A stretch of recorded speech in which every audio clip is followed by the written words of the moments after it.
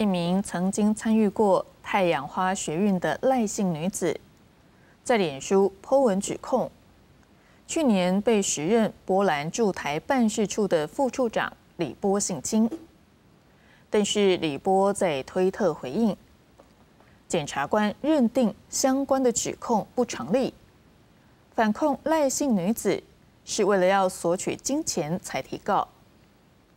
而对于近期性平事件频传，台师大等传播学界的师生也共同发起“不要沉默”脸书，呼吁性平意识不应该沦为口号。曾任太阳花学运发言人的赖女在脸书发文指控，去年九月遭时任波兰驻台办事处副处长李波性侵。外交官妻子还带着小孩登门，要求不要投诉媒体，会毁了孩子一生。不过赖女提高性侵，却碰上再议被驳回。李波在推特发文声称，他没有外交豁免权，案件经北检和台高检认定，指控不成立，反倒认为赖女不排除是为了两百五十万的和解金才提告。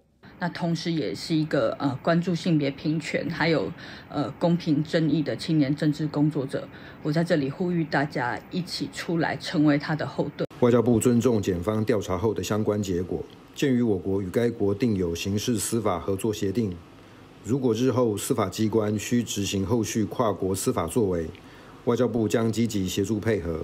至于前驻菲大使徐佩勇性骚案，四月底已遭调部解职，接受调查。外交部表示，五月初要求住处回报，但当事人有顾虑，并无申诉意愿。外交部强调会持续协助并严正处理，主动行政调查，提交考绩会议处。